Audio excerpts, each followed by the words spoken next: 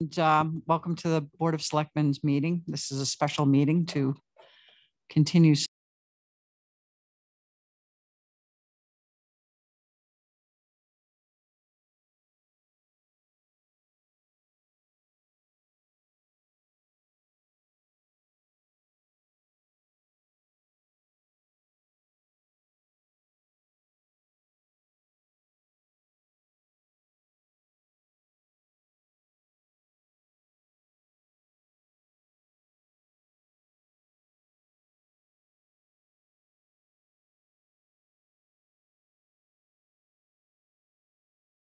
To keep pushing it down, or um, there are a number of things that we can uh, talk about relative to that, even if they're not here. Um, So we're going to start with um, summer programming update with um, Putnam, who's um, been more than ready to do this for a while now. So Putnam, the floor is yours. Okay, um, so, uh, my name is Putnam Kidder and I did the beach director position last summer and then, um, have been the part-time recreation director, um, over the course of this year and then I'm doing the beaches again this summer.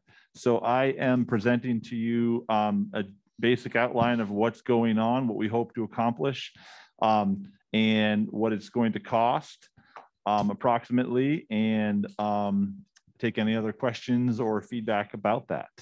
Um, so just to kind of put things into context, that certainly last summer was um, a very different kind of summer coming out of COVID. Um, we were very last minute kind of about a lot of different things, um, trying to get staff, trying to um, figure out how we were going to handle various opening procedures, access procedures. Um, so this summer, I think we'll be, we'll still be feeling some effects of that, obviously, but um, a little step more towards normal. Um, clearly, um, we're still like the rest of the world struggling to find good quality help at um, prices that make sense. So, um, but that is kind of the landscape we're working in a little bit. Um, so i have a big packet that I can go through um, item by item if that's what the selectmen would like. Um, and if they want, they can stop me at any point um, to ask questions or clarifying um, comments or feedback. And if um, need to be moved along, please move me along. Um, so we have several programs that we're going to offer this summer. One is the paddleboard and kayak loan out program, which is going to happen at both beaches. Um, we have beach attendants. They will continue to loan out kayaks and paddle boards. We have a waiver, um, which is uh, part of the packet that we developed last summer um, for users to sign rules they will be expected to follow. It is a very popular program, and while it is not common for towns um, in the Northeast to offer this kind of program, um, it is a service that I feel that is worth continuing, that people really enjoy and appreciate. Um, and I did consult with several towns, Meredith, Moultonborough, um, Sunapee, and there are very few towns that do a program like this. Um, there is um, a program similar to it in Gorham, Maine that I'm trying to connect with um, their recreation department about how they do it, but um, it is different, but I think there is value to it. And we really strive to do it in a safe way to make sure that the staff members who are loaning out these, uh, this equipment know the procedures to, to do it safely, to make sure all they have all the safety equipment and also that um, they're following through and um, our waivers and our uh, paperwork is all done correctly. And that was reviewed last year. Um, we had it do um, Primex had looked at that, and also um, some of our the town lawyers had given it a once over as well. Um, so that is something that is really unique to our town, but I think people really, really appreciate, and that I think we can offer it with the right training um, safely and effectively, um, and it is certainly a benefit and a way for people to get out and appreciate our wonderful lakes in the summertime. We are going to plan to offer swim lessons. They haven't happened for the last couple of years. We um, hope to consolidate it into July um, for ages five to 11 um, and just do them over the course of July. I will be um, advertising those or promoting those on our website and having signups for those over our um, online recreation desk software very soon. And we hope to do them at both beaches. And um, we have lifeguards that are, are going to get trained to do these lessons through the um, either Red Cross or another program. And there's a lot of interest in getting those back. Um, in I've had lots of people come up to me and say, "Hey, we're going to have those. It's a really important service that people have been missing out on."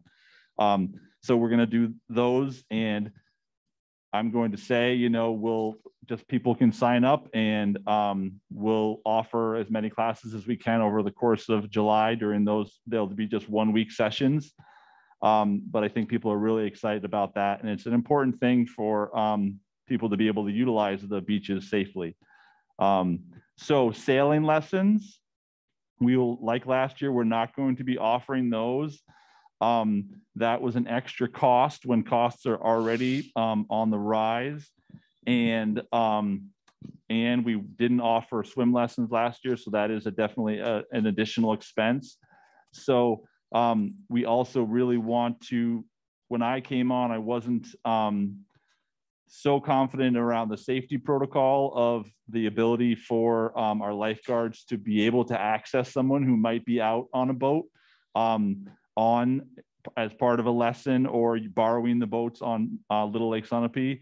So we're looking into that. So right now, unfortunately, the sailing lessons have kind of been um, put to the back burner to be um, just looked at. Hopefully, maybe we can bring them back, but if we have to get the right staffing, we have to be able to do it safely.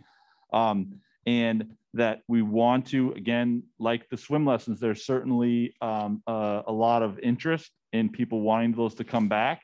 And so we were hoping that maybe we could find some local um, people with some sailing skills that could, um, maybe we could have one day clinics down at the beach, beach over the course of the summer um, because we do have um, a number of boats that the town has that we would like to be able to use. But again, it's a um, staffing thing, it's a budget thing, and it's also um, a safety thing that as of now, um, we're going to put sailing lessons kind of off of our programs this year. Um, we are interested in trying to maybe do a little swim lane to the left of the swim area at Elkins to try to talk to, there is the uh, Upper Valley Aquatic Center. They do swim team out of Hogan. And that's something we're um, collaborating with um, to think about maybe try to do some outdoor swimming um, for adults or younger people. And um, swimming is very uh, getting more and more popular. And there's it's really fun to do in a pool at a race, but it's also really fun to be able to do it outside. Um, so that's something I'm looking into. I'm also looking into the ability to um, get some younger youth around the area who might be interested in kind of doing like a little junior lifeguard, junior beach attendant program that I would supervise to try to get younger kids in the area, seeing how the lifeguards do their job, seeing how the attendants do their job, um, and being able to say, wow, maybe this is a job I would like to have moving down, um, you know, years from now. So, um, and just get little kids learning about being safe on the water. Um, so that's another possible program. I'm looking at um, having the Crescent Moon Yoga Studio at Elkins, um, use Elkins for um, some of their morning classes. And that would be just kind of a periodic uh, event they would have down there on the grass in the morning. And that wouldn't impact any of the uh, it would be before the beach is open and also um, it wouldn't take up very many spaces. So that would be just another, or parking spaces, it would be another way to just offer something different down there um, that I think there's definitely an interest in doing. Any questions, comments so far?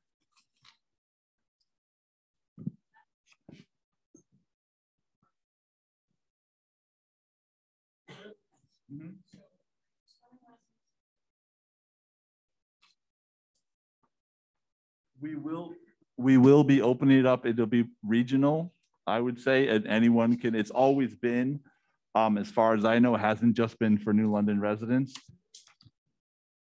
What's that?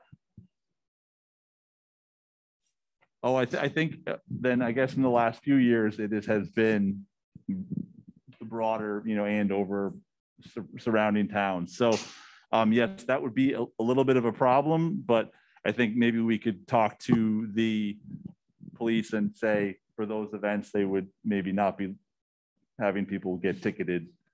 Or we have, we do have little passes. I know they've done that in the past. They will say, I'm here for the swim lessons.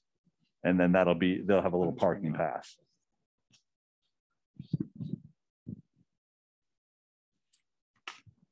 Um, Actually, Yes, John. Lane you're talking about, uh, is that gonna be in the mooring field?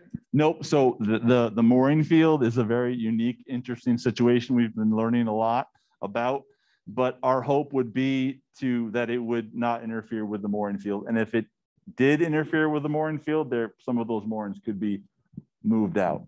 Because I've been told, um, it's a unique situation down there for sure. And we, and, and we know about that. And, um, we, we, we're talking to people and we've talked, been learning a lot about that whole situation. So Putnam, um, perhaps you could talk about what the current status of the staffing of this Yes. and then also what your budget Yep. is going to be looking like. Yeah, so staffing, um, we have lifeguards who are mainly just focused on watching the water, doing safety around that. If they had to do rescues, they would be doing that. They would be performing all water safety um, protocol. And um, ideally, there are two chairs at each beach, so they're on for a half an hour and then they're off for a half an hour. So we would have four guards at each beach. Um, right now, we would like to have them there from 10 to 6 p.m. Um, and right now, we would like to have them be um, there Memorial Day weekend and just weekends until school gets out. And school gets out on the um, 21st or the yeah the 21st. So then we would be seven days a week, hopefully, as of then, um, once school was out. So we have a range of 14 to 18 dollars an hour based on experience and what we offered last year last year again i think was a really unique situation that we kind of had to make it um, appealing to them to come work um, and that we were really trying it was impossible to find workers anywhere really so that was a really unique situation. So that i think puts us a little bit higher than um, maybe in the past.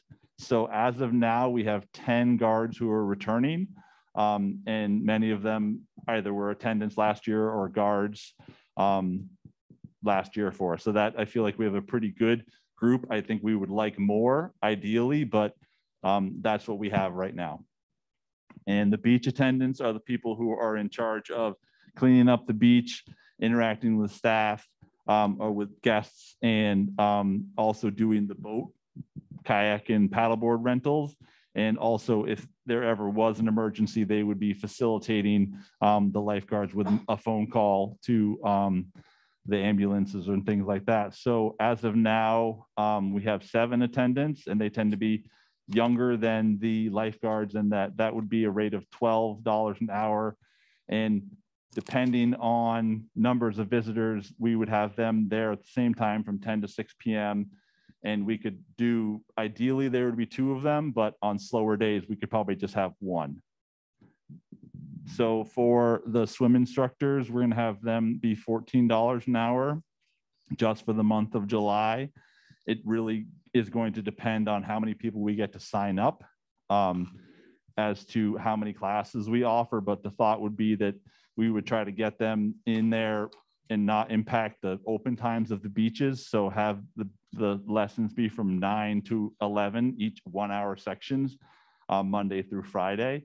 And ideally, we would have guards who weren't working those days would come in and be trained as um, swim instructors.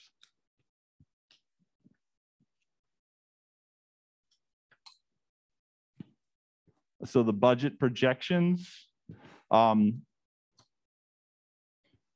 to, and I estimated very, very high, thinking about kind of the highest number as what we do, that these are projections. They can go up or down depending on weather. When it's really, really bad weather, we don't open the beaches. If it's a total washout, if it's, you know, 55 degrees and pouring rain all day, we will not open the beaches.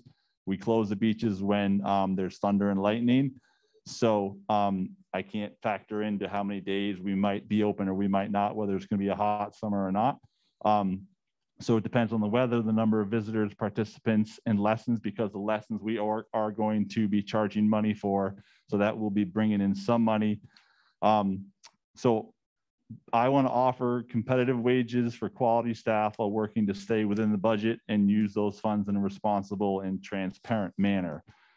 Um, the numbers are not definite and will change it is, is it impossible to predict the weather, staff availability, interest in swim lessons, and a myriad of other factors. So I'm saying that I'm open to any and all questions and feedback. So if we had a range of guards at 14 to 18 dollars um, for the summer, which is about 12 weeks, give or take, um, we would be looking if there were four guards there for that time, we would be looking at $86,000. Um, that number is an estimate and could be significantly re reduced if we chose, if there's weather impacts, but also if we chose to not offer lifeguards for seven days a week. If we cut off a day, obviously that number is going to go down, but I wanted to give a, a number that is going to reflect kind of what it could be. That doesn't mean that's what it's going to be. There are a lot of factors involved in that. The instructors would be $14 an hour. And um, depending on if we had one class or two class, it could range from 700 to $1,216, $1,260, depending on how many kids we have involved, enrolled in the class. Um, we will be taking money in for that. We will be charging a fee and we're looking at about um, $80 for the five to 11 year olds and then $50 for the younger kids, three to five year olds. So, um, thanks Putnam. So maybe you could do the budget overview in terms Yeah. of, based on that, what you think your cost projection will be Yep. and where you'll fall out relative to this? Mm-hmm. So the cost for the summer at the highest range would be um, approximately 112,700 and 112,712. Um, so we have $18,000 remaining. And then that is would take us through June 30th. And then um, we have in the budget for um, 2022, 2023 of $60,000. So which can be utilized as of July 1st. Um, and so obviously that would leave us a little bit over budget. This would give us 34,000 that we would need to um, meet the projected figures. So it puts us over, but I can't say that how many rainy days we're going to have. Um, I can't project. Also, we can certainly cut those numbers down by having the beaches not open seven days a week. Um, so that's an approximate overview I have. And we also have expenditures. Um, one thing that we do is the um, reimbursement for kids so they can get reimbursed um, for their training if they tr- get certified to be lifeguards. So we give them money um, as an incentive for that. So you've not factored those other expenditures into your overall budget at this point, is that correct? Um, those are those are I don't know how many kids. It's a case to case basis, so I don't know how many kids are going to. Want the reimbursement Yeah. or Yep. I guess get a lifeguard suit? Yep, yep. That we we give them an opportunity. We'll give them twenty dollars to get a guard suit. Okay. Um, any questions? Go ahead.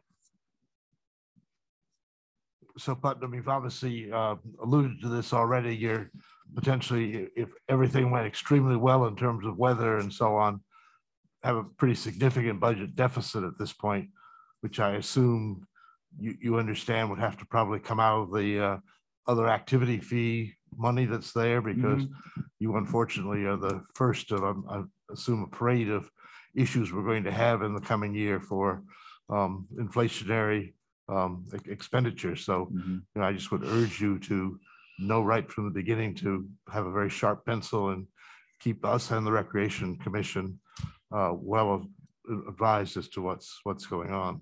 Obviously, can't make any decisions now. Who knows what the weather's going to be, Mhm. or the attendance at the beach for that matter. But thank you for your good hard work here.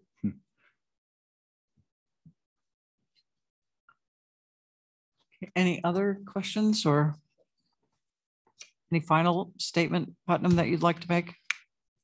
Um, I, just would say that we have, um, a wonderful resource in our beaches and our recreation program. And, um, I'm really excited to get people out and using them. And I am in full support for, um, comments from the public. If, if they want to have any questions of me anytime, um, my information is on the website and, um, I, I, I want to use the money we have responsibly and transparently and respectfully and um, but also put on good safe um, well-run programs Good.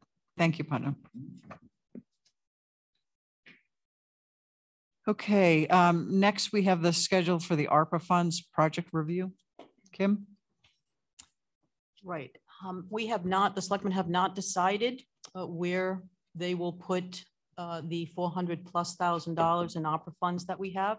So I would recommend that we set up a schedule, starting perhaps with the June 9th meeting, where we invite in the water precinct and Bob Harrington for sewer projects and any other projects he might have, and any other projects that members of the public might want to recommend for use of those funds so that in the next four to six weeks, you can make those decisions.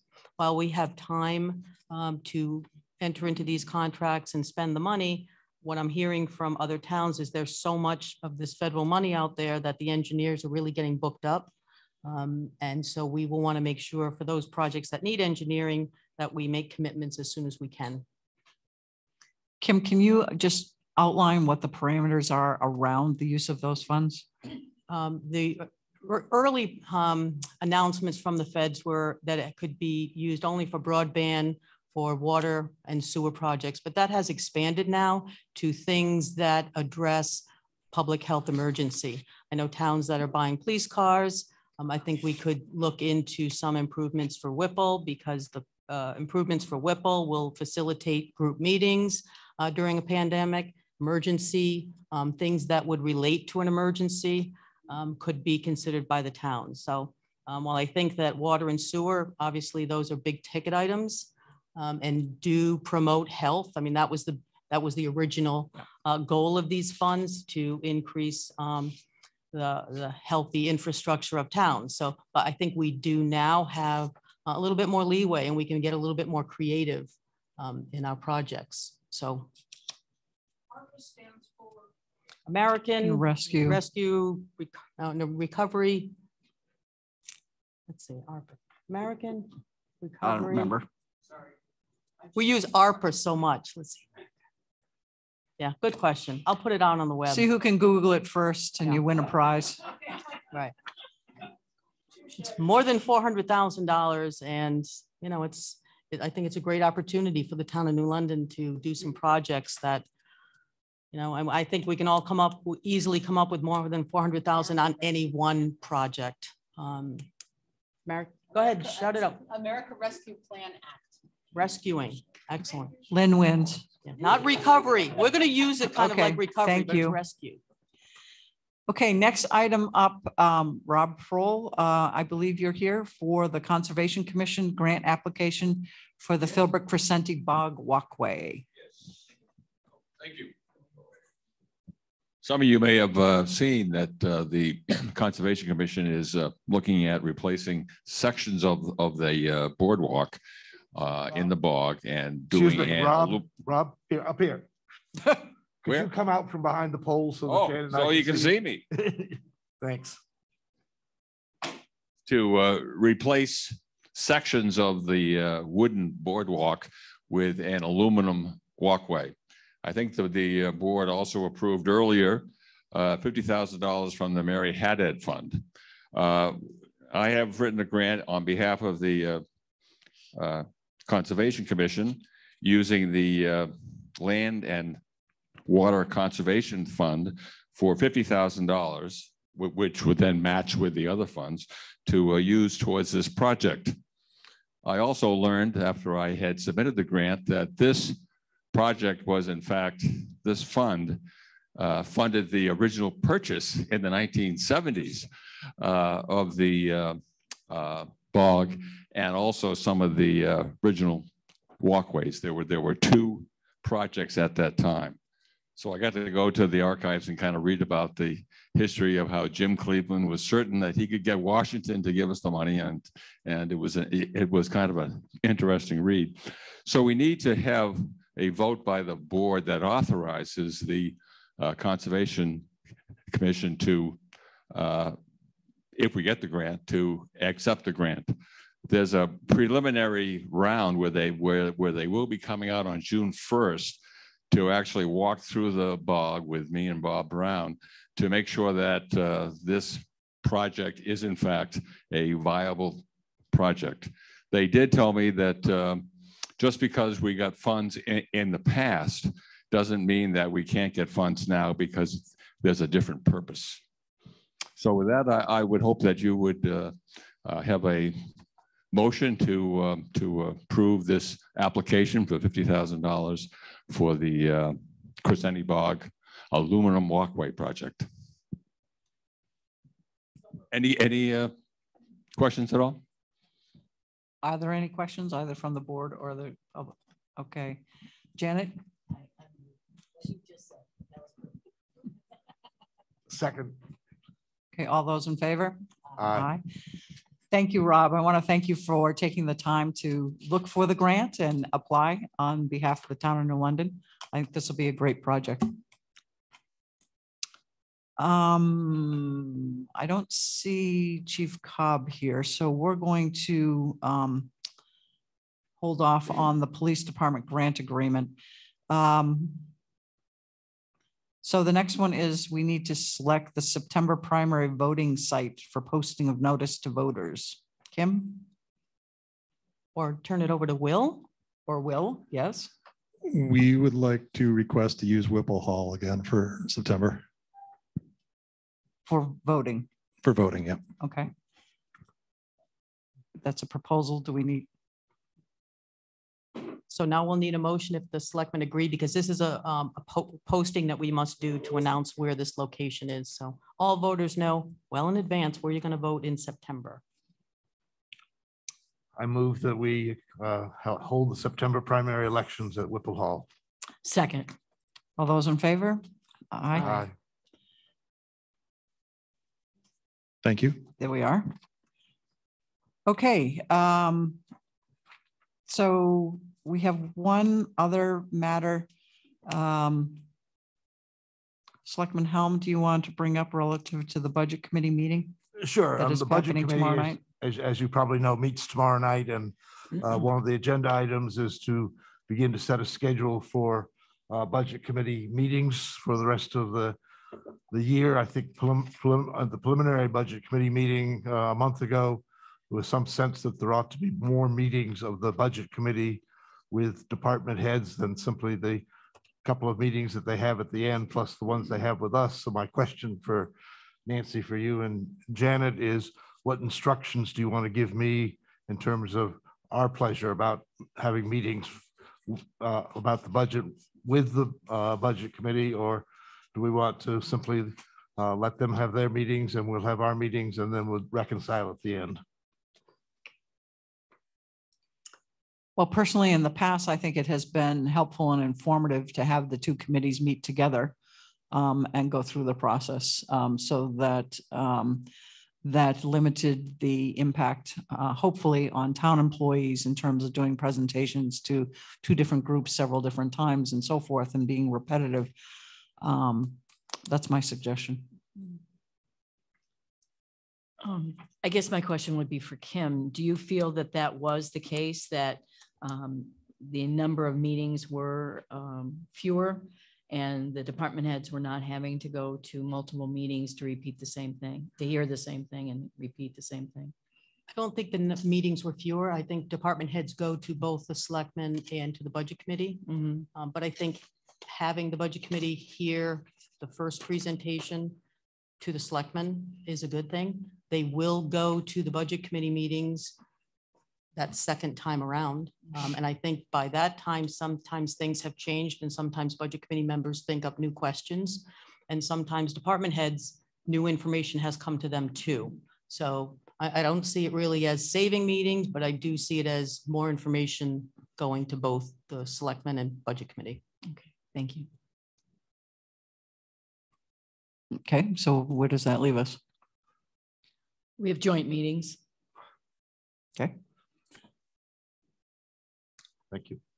We should also at some point, although I'm not prepared this evening to discuss um, how we want to approach the budget uh, process for the next cycle, since we're going to have many challenges.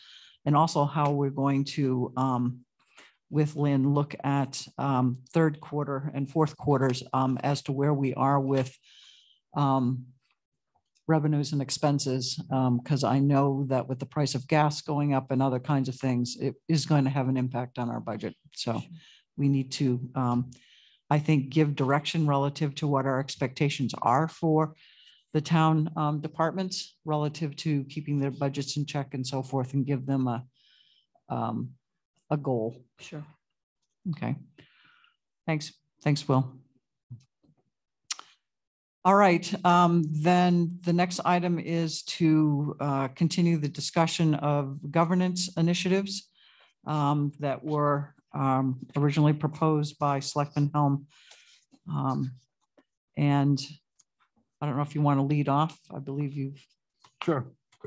Might as well continue, continue there. Uh, I want to thank everybody for the input they've continued um, to provide. Um, That's all part of the process to get, get information. And I think you'll see in some of my comments this evening as the time goes on, uh, there's been, I've, um, I've heard some of those and I think some of uh, both Nancy and Janet have. Um, Also, and I think that, you know, the listening and uh, understanding and the giving and taking that are necessary for leaders of a body like, like the, uh, different persuasions, but of, of a town governance body um, is, is really important. So I'm hoping that uh, I will be demonstrating my willingness to give and take a bit with the, where I would like to see us head tonight, if that's all right, Nancy. So um, in terms of the five proposals I made originally, I'm going to suggest um, for the purposes of discussion or um, whatever people would like to do, that the proposals related to the uh, selectmen and the budget committee memberships and the responsibility for the um, CIP all be set aside. I think we should be able to expect in the light of the recent discussions, everyone has gained some real clarity on the importance of independence, which was a primary theme for those proposals. And that if we feel there's some specific problem with somebody or some group of people re- re- related to independence from the selectmen or the budget committee, we can deal with that on an individual basis. So I don't know, would you like to stop there, Nancy, and talk about that, or just let me go through? all I'd my like to see if proposals? there's any reaction to that. John? Hang on just for a second. He's, Will's coming with the. Bill, could you explain what a governance initiative is? Well, I think, you know, my, my definition, John, was to set forth several ideas that might im- uh, improve, as I said the first night, the independence in the case of some of these proposals, and in other cases, the uh, effectiveness of the way we govern. So uh, primarily effectiveness. And how would they be effected? How, how, are they made rules, laws, or, or how do you make things happen like that? Well, I think what we, what we do is, as a board, we decide whether we want to adopt some of the suggestions I made. So for example, I proposed that we, um, uh, once again, review what the CIP uh, process looks like. Um, because I thought, I personally believe it would be more effective if that was done differently than the way it's done today. But having listened to discussion around the room, over, I guess, three nights now, or, and a lot of written correspondence, my conclusion is that that's probably not something we want to take on at this point. Okay, thank you. Mhm.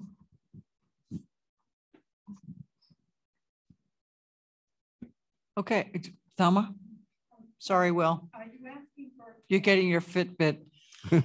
So Bill has revised his original proposal and has proposed something different. So at this point, we're asking people's response to his revised proposal. Well, since I don't know what the revised proposals are, Bill. I can't address that. I can only address what I know. Well, Thelma, what, what, what I have is several proposals and um, I've started and said, the first one is that my proposal regarding selectmen not being on other committees, my proposal regarding budget committee members not being on other committees, and my proposal that CIP be handled differently. I'm suggesting all three of those be set aside. So That's the first item. And uh, I think in discussions before the meeting started tonight, uh, I said, Nancy and I agree that I'd sort of take these in, in one bite at a time. I've got several more proposals left to go. But I think she's asking now whether or not you, the audience has, has any comments on that first proposal, revised proposal of mine, which is to not further discussion on those three items. So he's taking those three items off the table. Okay? Okay. Thank you. Sorry. Thank you for the clarification. Was there some other revision, Bill, that you wanted to share or, Not regarding those three. okay. Any comment from? Okay, um, hearing no comment, I'm going to take uh, the chair's prerogative and um, make a comment. So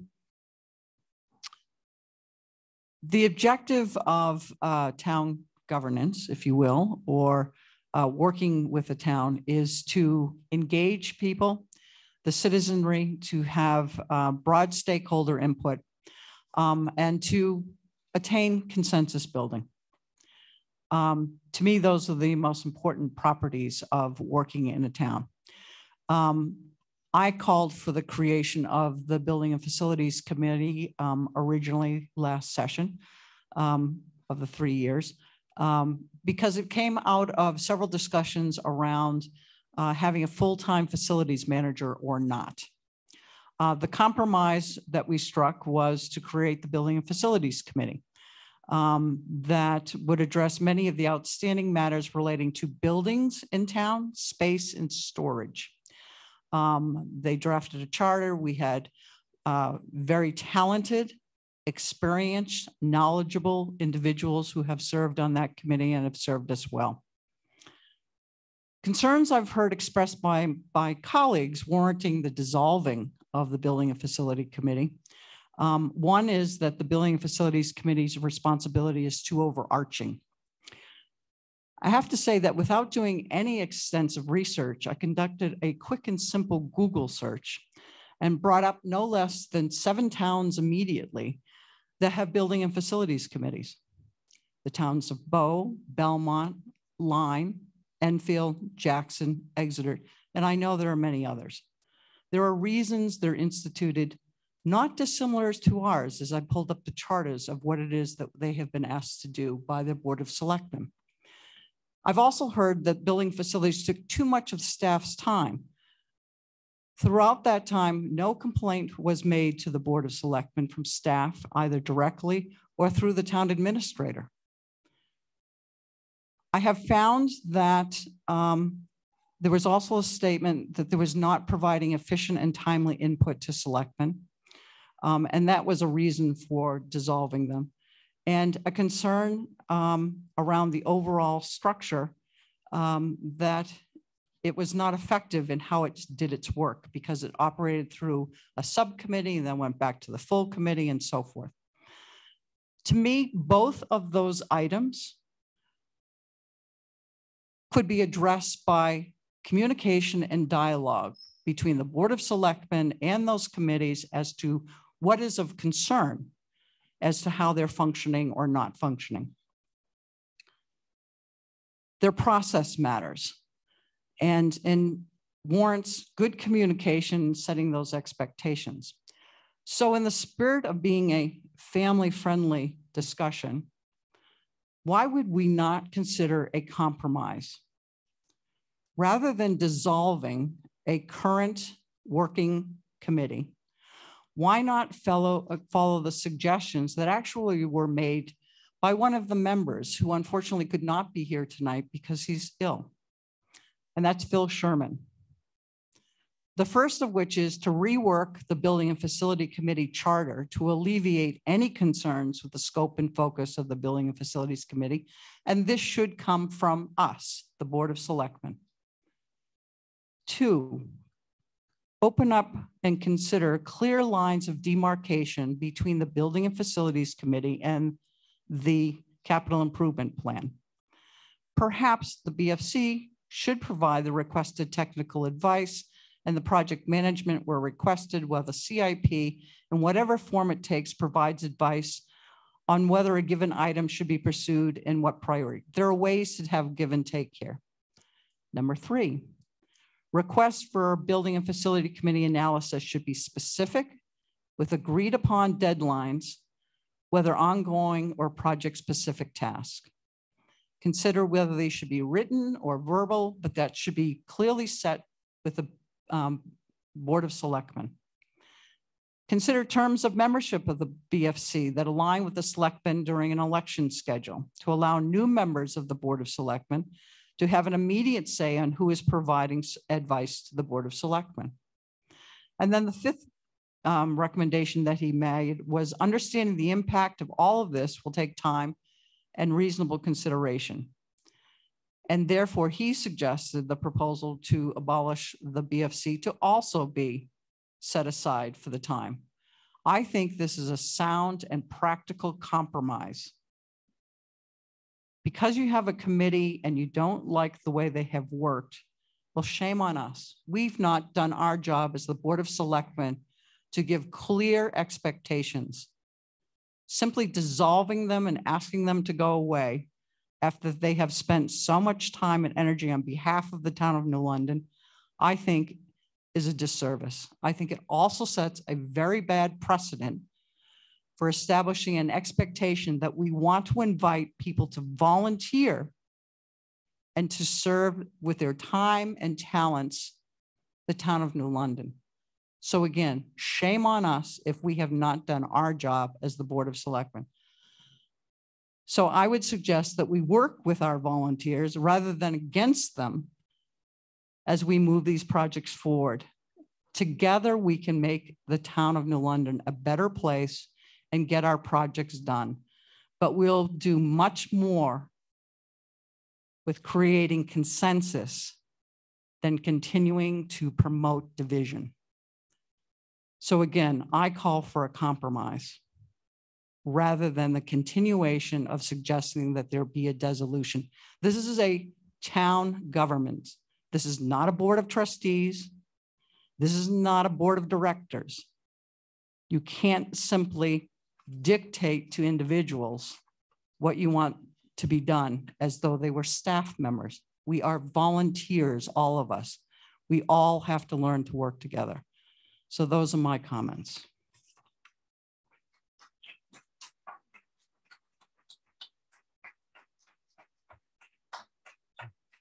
Do you want me to continue? You may continue. Thank you. So that, uh, I was not aware that Nancy was going to make that, those comments before I even got to finish my comments. So I'm just going to continue on that path and then try to weave this um, back to, back together. Um, So I'm going to, actually, I'm going to, I'm, Nancy, I'm going to continue in the order in which I was, was going to speak, and I'll come back to the Building and Facilities Committee in a few minutes. Um, my, my first proposal that I'd like us to act on tonight is to actually dissolve the current Solid Waste Management Committee as a permanent committee and establish a new ad hoc group to advise the Board of Selectmen over the next six months on several uh, waste issues, including ones related to the transfer station.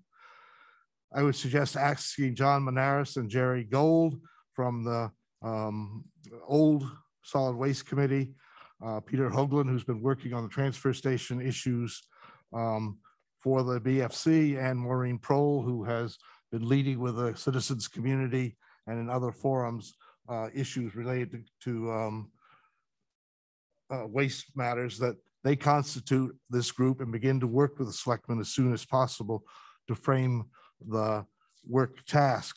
Alternatively, of course, we could retain the existing committee and assign and reconstitute the people on it and assign this task to them. But I feel very strongly that what we want to do is to have a series of ad hoc committees, advisory boards, whatever one wants to call them, who take on these specific tasks in a time ending matter. I think that um, for these types of projects, including the ones that the Building and Facilities Committee has been working on, it's important to have a beginning and an end and not just continue on, on and on. So in the case of the Solid Waste Management Committee, I think they did a good job up through uh, 2017, 2018, but it's sort of just languished since then. Uh, and I would prefer to see us at this point say there's a task to be done right now, which is to identify how this town is going to deal with its a variety of solid waste issues from composting to uh, traffic at the transfer station to uh, uh, additional land behind the um, um, public works garage that might be acquired to help with the um, solid waste issues like trash and um, uh, uh, paper goods and plastic and that sort of thing.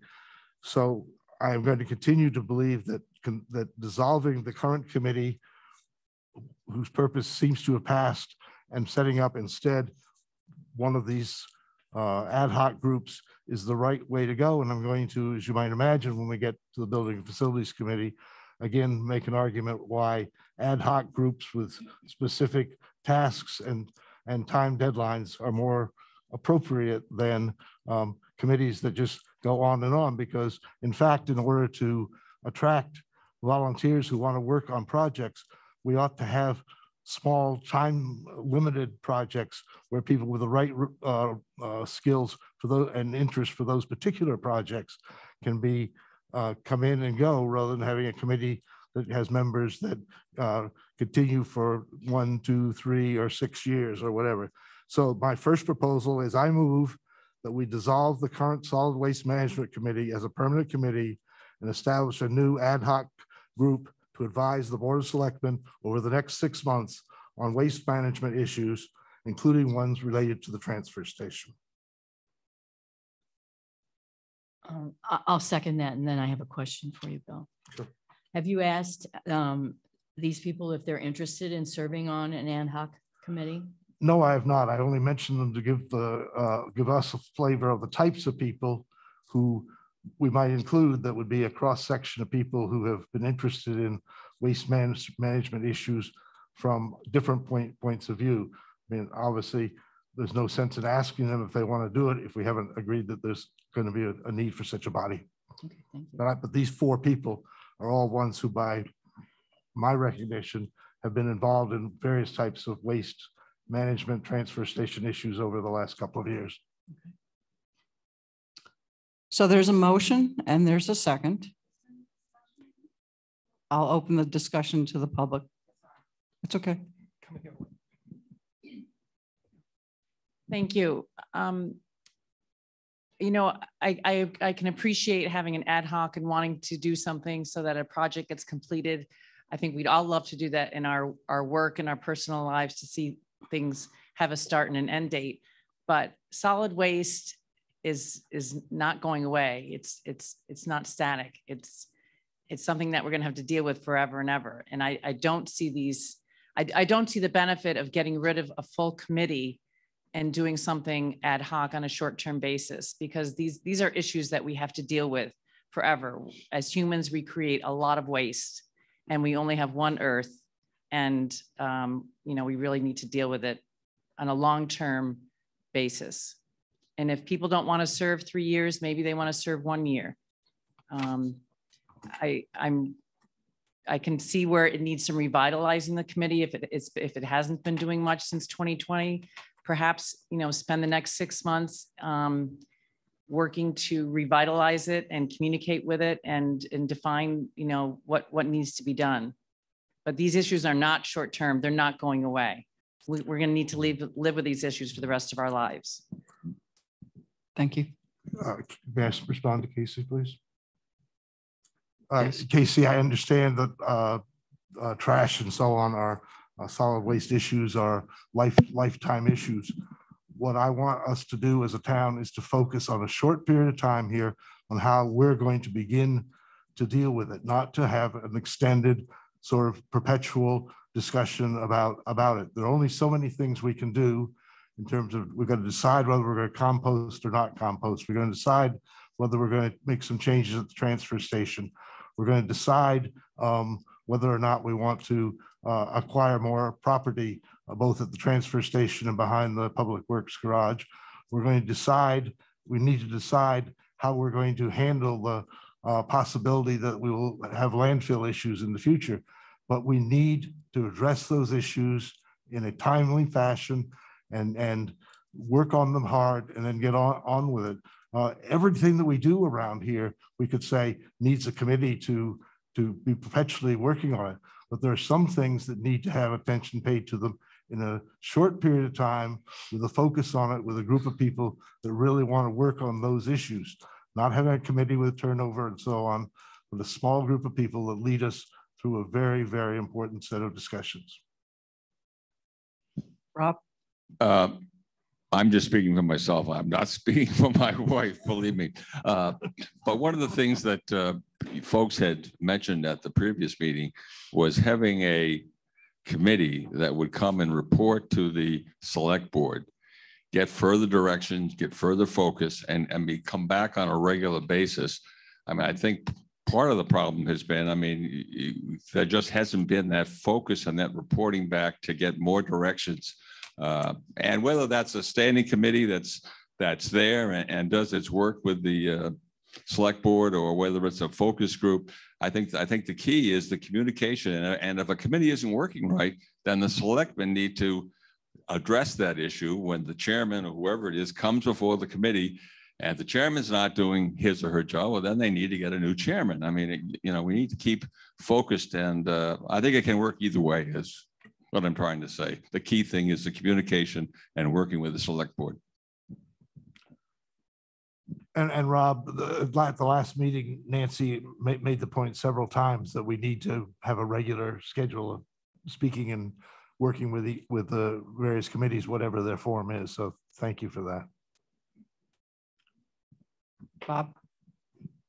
Uh, Bob Bowers, I'm a resident here. Excuse me.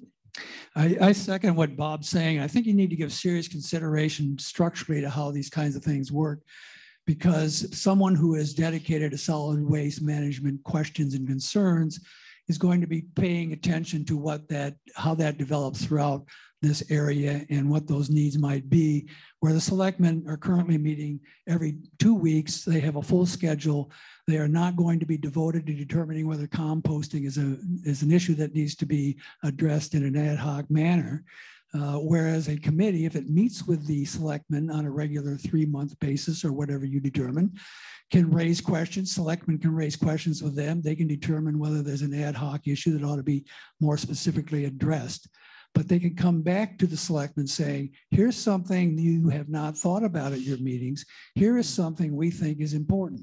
This would be similar to the Energy Committee, which has not shown up in any of these discussions. They are focused on energy issues. Uh, I would turn to them before I would turn to the selectmen if I wanted to know what was an energy problem and how to address it. And I think you need a dedicated body, and the key, as Rob points out, a dedicated body uh, that is aware of these issues and can bring them to the selectmen rather than selectmen having to be aware of everything and every issue on every facet of life and then find a way to appoint two or three people to take a look at one thing. So I would urge you to strongly uh, consider not disbanding that committee, but rather beginning to restructure it, have meetings with them, find people who are interested, what those issues are, and then work with them to identify those ad hoc issues that need to be addressed and ask them to then go forward. So thank you very much. Any other comments? Okay, I'll make a comment relative to this proposal. Um, it's been my experience that as any group life, um, it has fits and starts. Um, and that what is being proposed, having ad hoc, short-term, time-limited groups, um, can work well in a nonprofit arena from a board of directors because typically you have a staff person who is assigned to that ad hoc group who continues the theme and can follow through on that. Volunteers work, have other lives. We ask so much of them to be volunteers.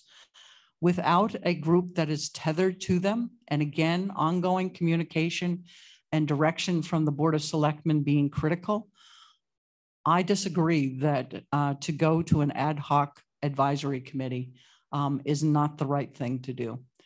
Um, So I will call the vote um, unless there is any further discussion.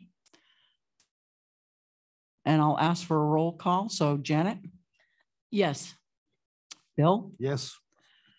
Nancy, no. Okay, Do you want me to continue? I would say so. Okay. So now, now turning ourselves to the Building and Facilities Committee. um, I've expressed last week some of my reasons for wanting to dissolve the Building and Facilities Committee. And I think the discussion that we've just had on the Solid Waste Committee and the Nancy's uh, nice comments earlier just, just reinforced where, where I'm coming from. Um, The, the full Building and Facilities Committee made a report to the Board of Selectmen in July of 2021, which was very comprehensive. And as somebody pointed out to me last week, I complimented the Building and Facilities Committee on that work at the, at the time or subsequently. That report was responded to by the town administrator in a lengthy document. And to my knowledge, now the all of the items that were on that agenda, other than those related to Whipple Hall, um, have been on the plate of the various department heads to consider. And I believe that after that report was completed, that for all intents and purposes, the um, Building and Facilities Committee has focused its intention, uh, attention entirely on the Whipple Hall issues and more recently on the police site issues. In fact, I cannot find on the town records any meeting of any consequence, uh, subcommittee or otherwise, that has taken any action since July of 2021 on the issues that were in that report. I can see all sorts of information about um, issues that um, the town administrator has addressed around security, for example, in the academy building, but I don't see any further action that's taken place between the Building and Facilities Committee and the, the selectmen or the rest of the town. So for my sense is that in reality, the Building and Facilities Committee has since July of 2021, um, with a couple of exceptions, uh, been totally focused on Whi- Whipple Hall and on the police. And I think each of those two activities are excellent examples of where small focused groups have had, uh, with time-sensitive um, barriers or boundaries put around them, have worked very effectively. The problem I've had with them is that they keep reporting back to this parent group instead of reporting to the Board of Selectmen. I personally would like to have had, before I was a selectman, heard the building and facilities, I mean, the uh, Whipple Hall Committee and the Police Committee reporting directly to the Board of Selectmen. So I continue to think that there's two excellent examples of small focused groups that have uh, provided good service to the town, but which should be reporting directly to the selectmen and not back to another body of people that start, that ask more questions about their work. If those other people, all well-meaning, have questions about what the subcommittee work is, come to a Board of Selectmen meeting. We're here, these are issues that we ought to be addressing, not waiting for them to have been uh, dealt with more and more, more meetings. So therefore, I would, just- I will, I'm going to move that we dissolve the current Building and Facilities Committee as a permanent committee. And having accomplished the task of identifying facilities-related issues in its July 2021 report to the selectmen. I further, I'm going to uh, move that we reconstitute the Whipple Hall Subcommittee as it now exists as an ad ad hoc group to continue to advise on and monitor Whipple Hall matters through at least 2023. And I would uh, say that I, I think that Phil Sherman and Rip Cross and Colin Beasley should continue to be part of that effort as they are the subcommittee today. And again, as with the previous motion, I only mentioned those names to give some flavor to um, how I think that work would be carried out. So the motion is to dissolve the Building and Facilities Committee as a permanent committee and to uh, have its work be continued where appropriate with the selectmen put together advisory groups such as the Whipple Hall Group or the Police Site uh, Group. There is a motion on the floor. Um, I'll second that. Any discussion? I, I would like to make a, Okay. okay? Um, there have been numerous forums held to determine the desires of the New London community. Clearly, based on those forums and the master plan, New London residents want a new site and facility for the police department. I'm going to paraphrase a thought by Representative Linda Tanner referencing the school votes in Croydon. Political discussions should represent the consent of the governed, not the power of the few. I would suggest that we substitute municipal decisions for political. My question to the members of the BFC is, do you believe you have been polite and truly interested in the opinion of department heads? Do you think you have treated department heads and our town administrator with respect? I have been present at public meetings where that is not the case, and I know our town administrator has and continues to be barraged with negative, demanding emails. The level of stress our employees are under due to the BFC committee is unprecedented. If a committee formed by the selectmen is not working the way the selectmen require by not presenting itself in a respectful, collaborative way, that reflects poorly on the selectmen. All committees represent the selectmen, and when I am embarrassed by the conduct of my representatives, I know it is time to make a change. I ask the members of the BFC to consider how they have spoken to the women staff of the town of New London. Has it been respectful or has it been dismissive and patronizing? The town of New London has an amazing, incredibly competent staff. I don't want to lose them. In conclusion, I agree with Bob Bowers referencing his 515 email to thank the BFC and the selectmen will handle it from here. I also agree with Nancy that we should dissolve the BFC effective July 1st. So Janet, you have skipped a beat hmm. so that people will understand. There was an email that can be made available under right to know um, that was between uh, Kim, uh, Bill Helm, and Janet, where Bill was suggesting that he was And going you, to come and you. forward And you, and myself, Yeah. yes. Well, I wouldn't be able to speak to it if I wasn't included. Um, Where Mr. Helm uh, had revised his proposal that he was bringing to the table tonight.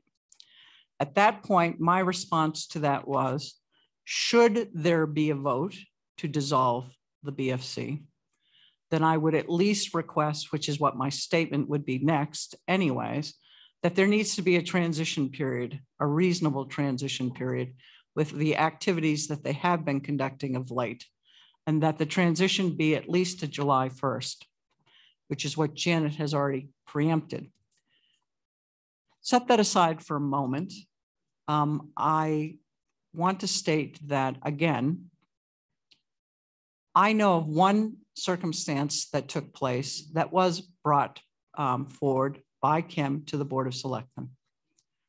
I don't recall at any other time from either staff or from the town administrator concerns about the conduct of the Building and Facilities Committee coming to the Board of Selectmen. So I think this is unfair to be making these comments. But so be it at this point. Um, I'm going to open it up to discussion to um, the group. If there are any questions or comments that you would like to make. I think Kim should comment though on the, the state of um, working I with the building and facilities over the last year. She's the one who has had to do this as well as other uh, members of our staff. So I'm going to say at this point, I don't think that's a good idea. I think we should suspend that line of discussion. I think that in all fairness, if things have not been brought forward in a timely manner, this is not the way to do it. This is only going to continue to be divisive and not achieve what it is that we're trying to do as a town together.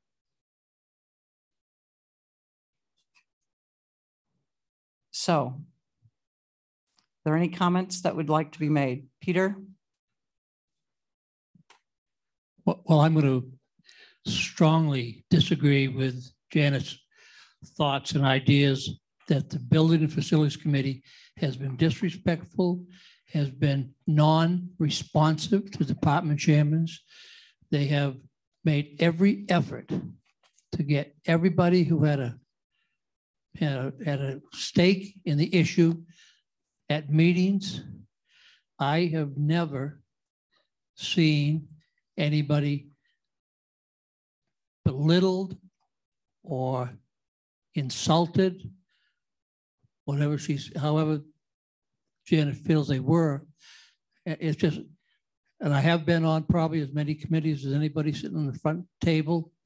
And I cannot believe that these statements were made about half a dozen people who worked their butt off to get the job done. In my opinion, a hundred percent straightforward and respectful to everybody in the town, town department heads and the town employees. I am, could not be more upset with the slander that I think I've heard a few minutes ago. Thank you. Okay. Um, Bob? Hi, Bob Bowers. Um, I, I did write a letter to the selectmen and Janet referred to it where I made a uh, suggestion that we put behind us all the, all the uh, dissension that we've been experiencing. And I, I hoped we could, and I still hope we can, and work together as a group. My first suggestion, which Janet has uh, alluded to, was that the selectmen who have the power to decide on the uh, police station issue um, and have been, both Bill and Janet have expressed concerns that somehow this has been delayed by the BFC and others, that they exercise the power that they have and have always had, which is to basically thank the uh, BFC and especially the subcommittee for its work, ask for the report that the subcommittee submitted, and take unto themselves the duty and obligation of looking at that issue of a new police station uh, to make whatever determinations need to be made, and then to bring forward in the March meeting a warrant article asking for bond funding for land and for the cost of construction for a new police station. That uh, they've always had that power. They could they could have done that from 2016 forward. Uh, do it now. Do it. Let's have it. Let's have a town meeting where it's decided. And let's find out if indeed everyone does want that and votes for the money necessary to do that. If they vote yes in the appropriate proportions, we can move forward and do that. If they vote no, I hope those who uh, advocate for a new police station will accept that vote just as anyone else would accept the other vote. And that we can all move together and look for solutions to problems that need to be attended to. What Janet didn't allude to is the second part of my suggestion, which was we keep the Building and Facilities Committee in place. They have, in effect, come up with a number of issues which amount to an ad hoc uh, analysis of individual concerns that should be addressed. And that the selectmen take each of those, address them with the building committee's input, since they have put a lot of time in on it, and that they actually make decisions. Uh, one of the concerns I have had, and people who have spoken to me have had, is uh, the selectmen need to make decisions. It's one thing for the building committee to point out a number of things that they believe need to be attended to, and it's uh, another thing to actually do something about them. And then again, falls to the selectmen. I would suggest that we take those proposals that the building committee has brought, the selectmen have a meeting on each of those proposals. The selectmen determine the costs and problems involved and vote to go forward to take care of each of those issues now, now. They've been kicked down the can. A lot of those issues have been postponed and postponed. It's one thing to say, yes, the building committee has identified these and now we're done. And it's another thing to actually do something. And I think that you need the input of everybody on the building committee that participated in that in meetings with the selectmen on a one-on-one basis for an issue and not with an entire new schedule following it. Devote a session to an issue, resolve it, vote on it, recommend the budget needs to take care of it, and move forward with dealing with what needs to be done.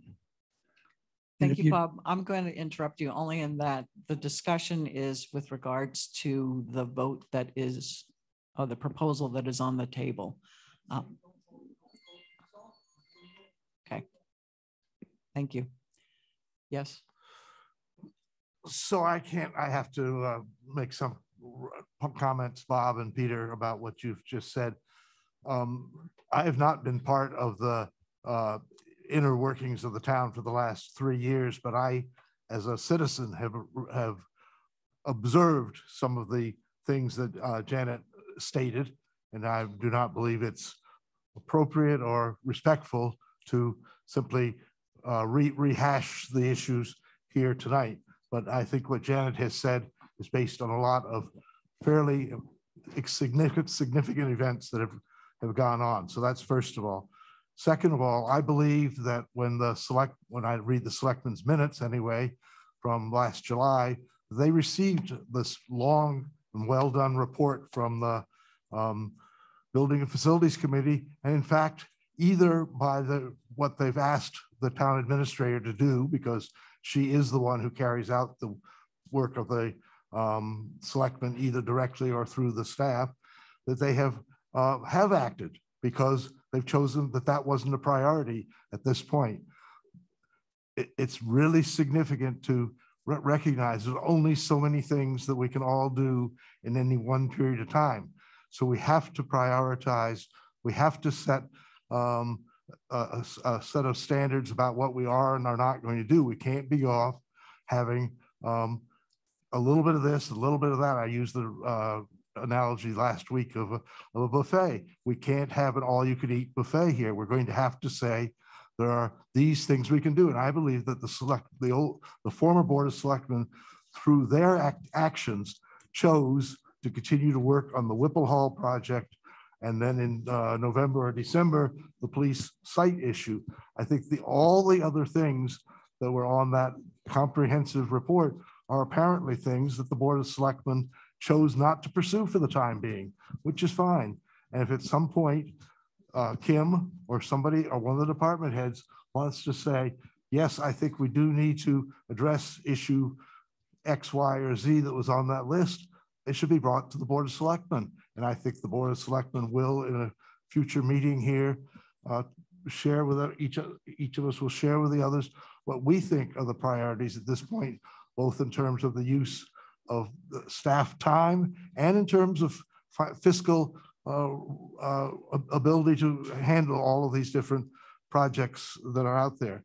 Third of all, um, I I don't want to go back to the whole history of the Stallman building, but uh, Bob, the purpose of that Stallman uh, proposal, you may recall, was to have a town meeting discussion and vote on the issue of the police station.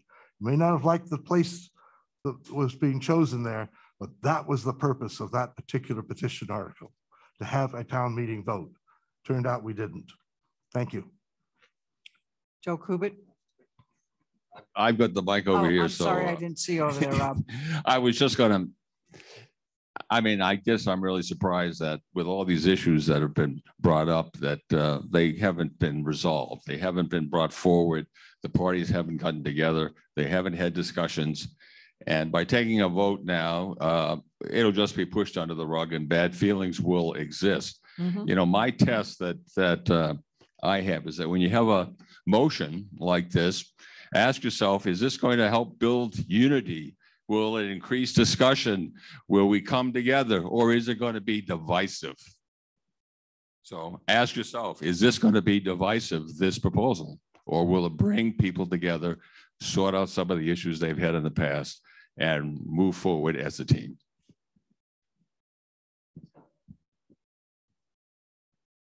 John, Joe Kubit has his hand up first and then it'll come to John. Uh, my name's Joe Cubitt for people who don't know who I am. I have kind of a simple question for the select board regarding this issue. In your minds, what is the purpose of the Building Facilities Committee? Is it supposed to tackle the task and give you a report back? Or is it a wide open committee they can go to anything they want to do in terms of what they do with their time? So it's a question, are they focused or an unfocused situation? You probably all have three The Building and responses. Facilities Committee has had a charter um, that was developed by them at the request of the Board of Selectmen. They have focused on um, looking at all of the facilities and coming up with a facilities plan. Um, They've been working on um, digitizing or electronically having a report relative to how we will manage those buildings going forward. Um, There's a number of tasks that they've been assigned. Um, and, you know, we could go on and on. So it's not something that we were just been shooting from the hip, if you will. Well, John Wilson had his hand up first, sorry. But you'll get your Fitbit points in. Oh. Uh, Sure. I was not on the uh, Board of Selectmen when the Building and Facilities Committee was formed, and I would not have formed it at the time. Um, I guess my understanding was initially that it would be to look at different buildings and decide whether or not um, there were issues with those buildings that needed to be attended to, like a new roof or um, a sill that needed to be replaced, that sort of thing. But um, it turned out that more um, time was spent on a variety of issues that really didn't have anything to do with what I just said. So I guess I was um, disappointed and frustrated that that was not taking place. For example, um, I believe Chief Lyon said that they needed a new roof on the fire department. Well, I don't think we heard that from the Building and Facilities Committee. We heard it from Chief Lyon. So, um, but I did find out that when we recommended putting emergency management offices in Bucher, um, that they were so opposed to it that that um, did not happen. We did not, we do not have an office for. I- what? The Building and Facilities Committee. So uh, I don't think that was part of their charter, but that's what happened because they were opposed to our moving emergency management in Bucher.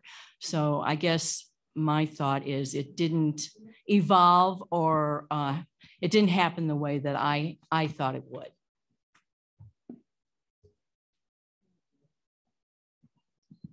John?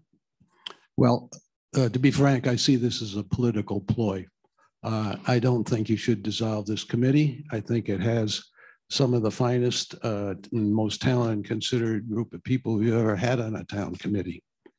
Uh, I've been on town government long enough to see what happened to the Academy building because it, uh, the uh, Public Works Director was put in charge of maintaining that building and uh, turn it into a three hundred and fifty thousand dollar, tear it apart, re-insulate it. We saw the uh, bandstand rot to the ground. We saw the problems in Whittle, Whipple Hall. We see the problems that were in Bucher Hall. Uh, How many thousands of, hundreds of thousands of dollars have we put into the library? We have been remiss over the years in keeping up with the, the properties that we have here in town we finally have a group that's in, researched all this stuff. They now have institutional memory, history, and all of the all these buildings, and hopefully we can maintain them now for a change instead of having to uh, fight the rot. Thank you. just a point of clarification, John, I think that you were referring to the former uh, head of Public Works. Absolutely. Oh, Bob, Yes. he's great. I I just want to point out that it was Richard Lee. um, And if he was here right now, he would probably jump out of his seat um, to hear that because when I first arrived here, he brought me to the bandstand and showed me the rot. He showed me the shingles and the siding on the academy building and how terrible it was. And my recollection at that time was it wasn't a matter of Richard not advocating or trying to fix those things. It was more a matter of the governing body and the budget committee who felt that the funds couldn't be put to the use. So I appreciate what you're saying, John, but I have to stick up for Richard Lee, who lit, okay, who, who did bring me to those two locations my very first week. And I actually picked up a piece of lattice that was from the bandstand that was on the green. So it wasn't Rich, that Richard Lee did not know about those deficiencies. It was that the town government felt they didn't want to put the funds to it at that time. I had no intention of bringing up. My intention was to point out that the former one, hundred and sixty thousand dollars, would solve the problem on the on the academy building. Uh, That some paint on the gutters of Whipple Hall was the first thing that we needed to do to take care of that problem. Uh, We, we have here a talented group and they've looked into this stuff. And for the first time ever, you feel good that perhaps the plant is under control here. And, uh, you know, look what we've done with Bucher Hall and improve that and so forth. I, I think we're just, because of political reasons, we're throwing out something that's really good. Okay. Nancy. Yes. I want to remind people that in my uh, uh, proposals here so far, I've named four of the six members of the Building and Facilities Committee as people who I would uh, ask the selectmen to include in future ad hoc groups. There's probably roles for the other two that I have not mentioned yet, but those don't happen to be solid waste management or Whipple Hall. So my proposals do not throw out the talent that we're talking about. In fact, I have said over and over again that I think that the Whipple Group has done an outstanding job in what it's done through first two phases of that project. I disagree, as you all know, with some of the issues in the third phase, but we'll get to that because it's going to be brought forward step by step. So we're not getting rid of these people. We're using the, this talent in the, another way, John. We're not getting rid of the um, people in any way, shape, or form. Colin? Uh, Colin Beasley. So I wasn't going to say anything tonight, but I can't help myself. Um, I, I would request that the select board, when referring to the work that was underway and has been completed by the BFC, that we talk with the facts. Uh, with respect, Janet, the facts that you cited on the Chief Lyon roof issue uh, and the emergency management shift to Bucher are not accurate. Um, so, and I'm not going to get into why they're not accurate. There's all kinds of details that I would ask you to read through. And if you want to meet with us, we'd be happy to review with you. But I think that if the select board is going to talk about and use examples, please, please be accurate. Okay? And I only ask that you do the same. Okay. So uh, with respect to the charter, uh, I'm sorry, what, what our task was, it was defined in the charter and uh, two of the three selectmen that are here tonight approved that charter. So uh, what we did was what you asked us to do. So if you're surprised by what we didn't do, it's because you didn't ask us to do it. We did what you asked us to do. And with respect to the organizational design principles, Bill, I would ask that you think through, though I guess at this point, maybe you have and you're, you've concluded it. Uh, when you have a core set of uh, experts looking at multiple common issues, you can accomplish a lot. And I respectfully disagree with an agenda of the select board to work on two or three things. Organizational design principles would allow you to leverage committees to accomplish a lot of things. And by delegating that work out and having them do the work with the appropriate staff of the town, you can accomplish a lot as opposed to accomplishing two or three things. And, and I won't speak anymore. Thank you. Okay. Any? Back here.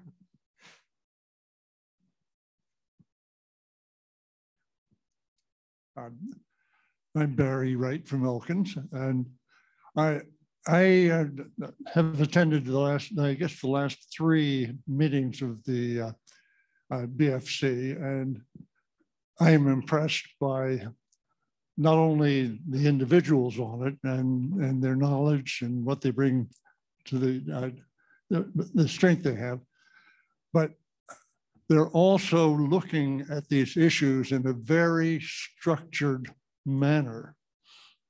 And I think that is just invaluable. We need to, we need to look at, at the big picture, which they do. And they have the time, well, they have the energy to do that. And I would, I, I, I think you would be making a, a very, very wrong decision if you throw that structure out. I, and you can call them ad hoc, that doesn't matter. It's, it's more impressive than looking at the group up front. You know, they're doing, they're answering questions.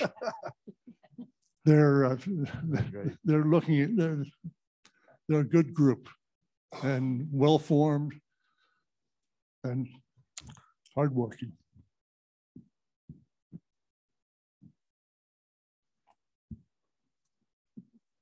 Joe?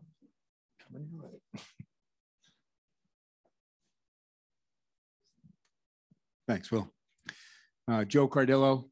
Um, first of all, I apologize for the late arrival. Uh, and I'll, I'm going to apologize up front because I don't know what was spoken about before I got here. Some of it might be repeated.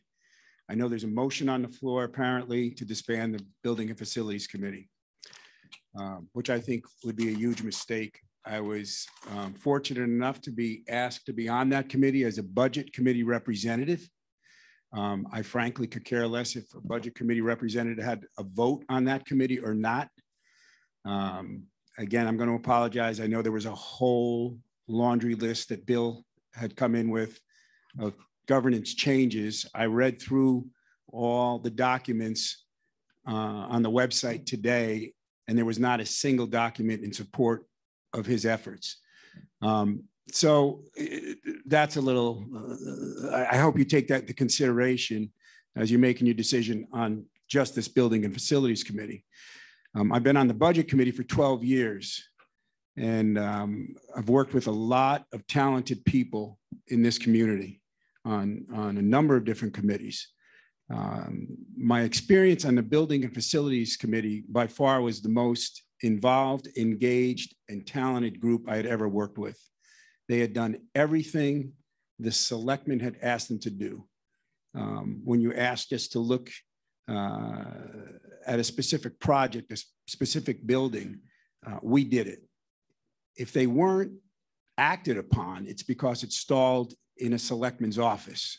It wasn't because of the Building and Facilities Committee. Um, unfortunately, I heard some comments last week uh, from people as we were exiting that suggested, gee, we've been trying to get a police station for since 2018. What is wrong with the Building and Facilities Committee? Um, why are we not getting it?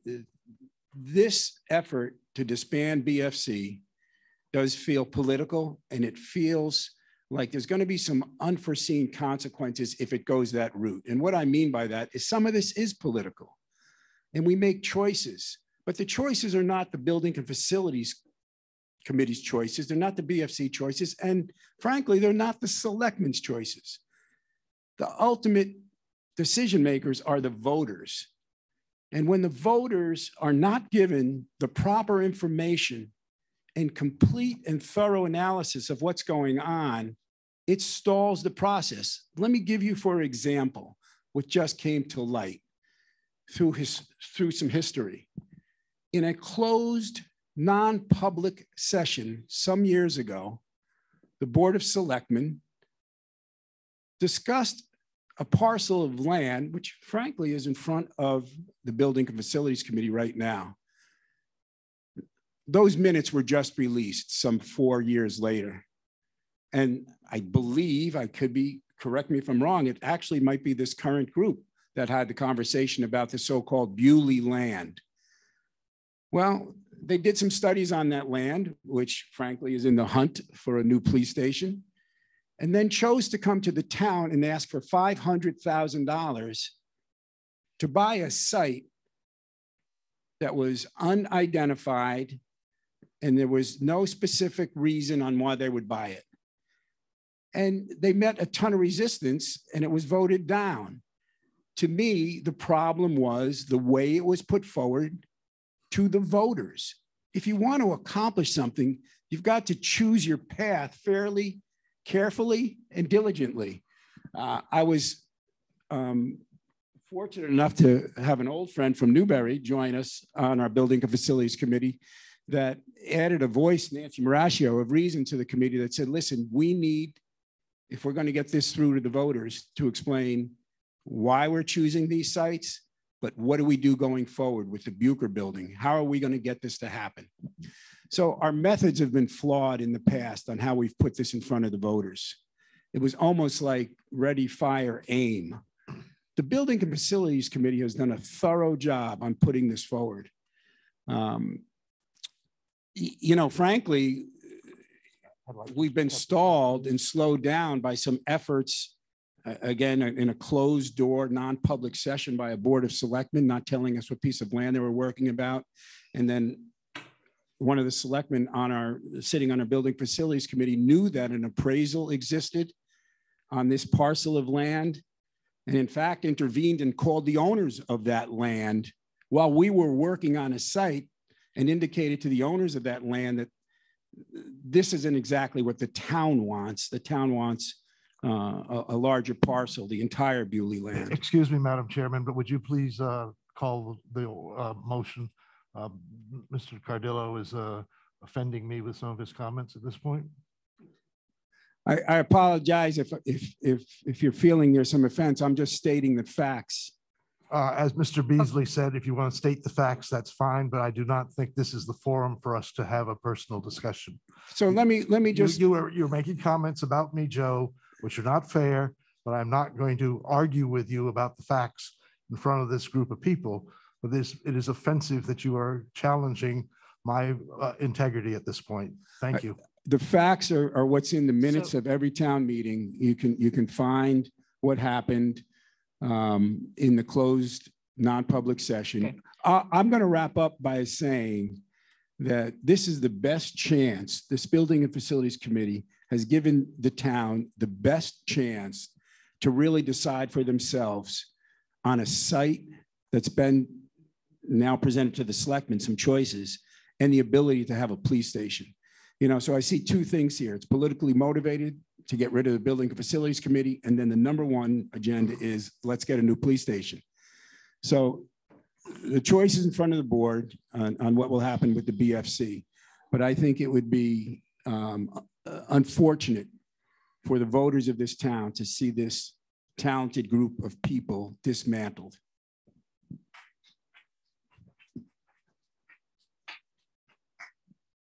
Did you want to speak? Okay. Nancy?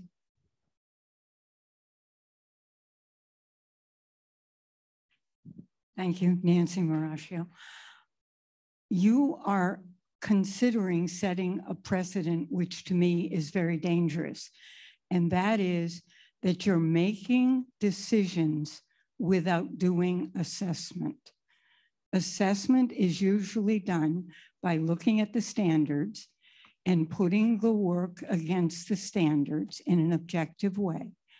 It also includes self-assessment by whatever group is being assessed.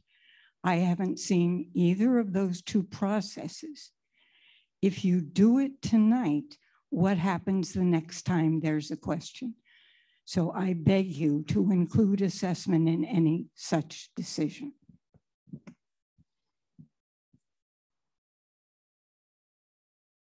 Are, are you speaking or? uh, Isn't it possible that we can, you can table this the way you did one through three or four? Why does it have to be decided now? I mean, I, I just, I think it, it requires a little more thought. As you so rightfully pointed out, Nancy. I mean, what, what happens if you just go to this committee and ask for basically what Bill is asking for? Which is the statement I had made when I had recommended that we have a compromise on the matter. Correct. At The compromise seems to be the thing that should be voted on, not the actual bullet point of removing and dissolving. Janet Haynes, um, Highland Ridge. I don't know your first name. You. Rob, Rob Prohl. Um, his words are ringing in my ear. Um, I've had about enough of the rancor. I have read all of those letters that Kim made available. Um, and, and it turns my stomach, frankly. Um, there was vitriol, there was rancor, and you know who I'm talking about. I don't, it's, it's unacceptable behavior. But I do know that that is not going to go away. It is only going to intensify if we go through with this vote tonight. Because there is too much misunderstanding, I believe, of what Bill Helm is trying to do and what Nancy is trying to suggest. I do believe that with cooler heads that aren't present right now, we can come to an accommodation. And I would respectfully ask that, as you have suggested, this gets tabled for tonight. There's too much not good stuff that's floating around. And I don't want that to impact what ultimately, what good potentially can come of this. Thank you.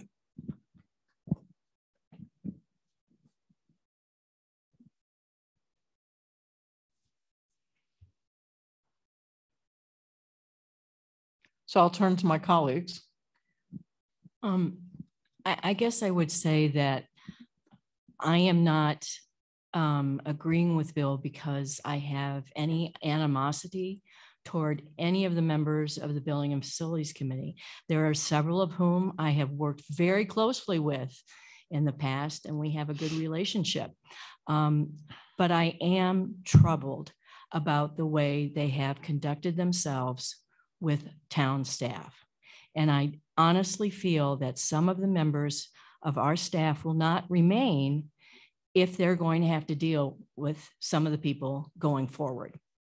I think um, Kim is maybe close to the breaking point with some of the things she's had to, um, she's had to make sure that our employees are um, kept off the ledge and that she should be able to have a weekend without four or five emails accusing her of not responding or not dealing with a matter that they feel is important. I don't think we need four or five page uh, emails expressing opinions. And, and I mean, at, at what point do you really want to go forward in your life having to deal with people like that. I think I think some of the members of the Building and Facilities Committee are angry, and I think the way they have um, dealt with town employees, and again, I'm going to say especially the women, that has troubled me, and I feel that I need to act. I also need to act because people say to me, they are not here tonight, maybe some of them are, but why are you letting this committee run the town? You were elected, they were not. So I guess that my that would be my response. It's not because I don't like people and I want to get rid of the committee and I really feel like they have done some very good things, but I also think that it has slowed down some of the actions the selectmen would take. And I know for the last three years, when I have made a suggestion or wanted to do something that I was always in the minority. I was the minority vote. And that's fine. I mean, that's that's government. But I do think now we need to reconstitute our committees or our panels or ad hoc groups, however you want to term it, and put people on it that will work collaboratively and not come in yelling at our town administrator or other department heads. I think that has to end. I really do.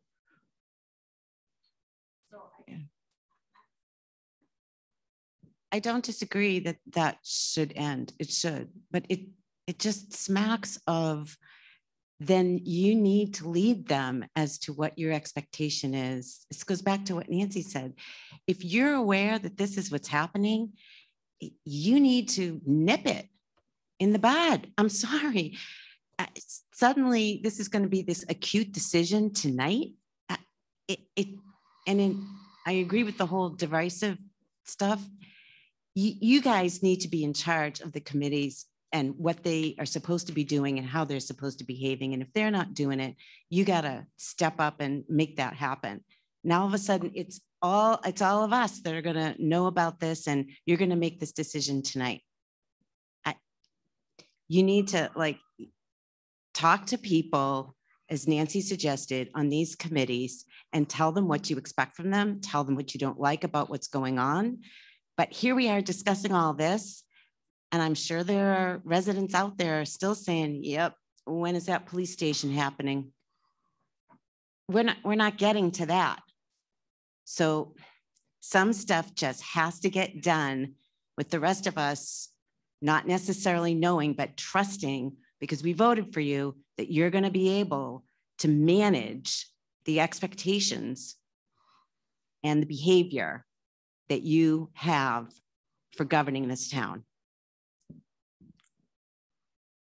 No, um, my, my turn, I guess. I, um, want to go back again and start where we were 45 minutes ago or so and say that I have listened very carefully over an extended period of time dating back into 2021 before I was a selectman to various views about what should and shouldn't be done in the town. It caused me this winter to decide to run again to be a selectman, even though I thought after my first term that I'd done, done enough for the town. But I was persuaded that there was a strong desire on the part of a majority of the voters of this town to have some changes take place. So this is not a new discussion. The compromises that I've put forth tonight from my original positions are extensive in terms of eliminating three of the five points that I initially made. I've also made it very clear in terms of naming names tonight that I would include, if my colleagues agree, the members of the Budget and Facilities Committee in the places where they can work directly with the Board of Selectmen on specific issues, but not as a group above a group of people who are then put, creating another layer of management or activity in the town. I feel strongly that we have talked about this for months, if not years, and it is time now to decide what we're going to do to have effective government in this town.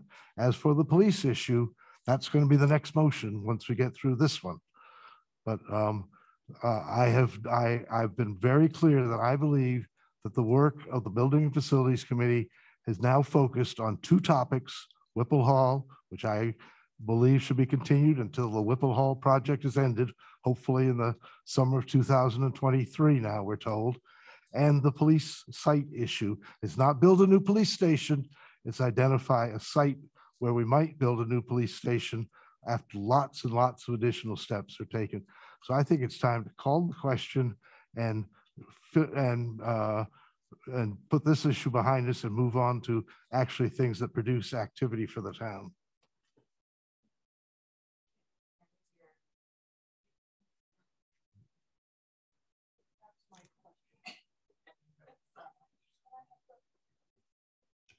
Does Janet want to say something? Janet desperately wants to say Respectfully.